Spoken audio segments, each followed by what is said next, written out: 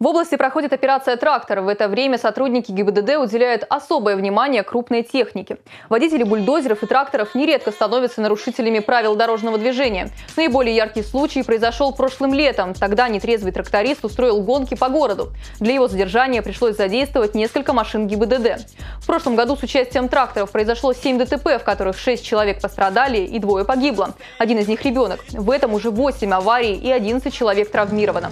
Зачастую водители садятся за руль, не имея специальной категории в правах. Нарушителям выносятся штрафы, к примеру, за отсутствие водительского удостоверения до 40 тысяч рублей или арест на 15 суток.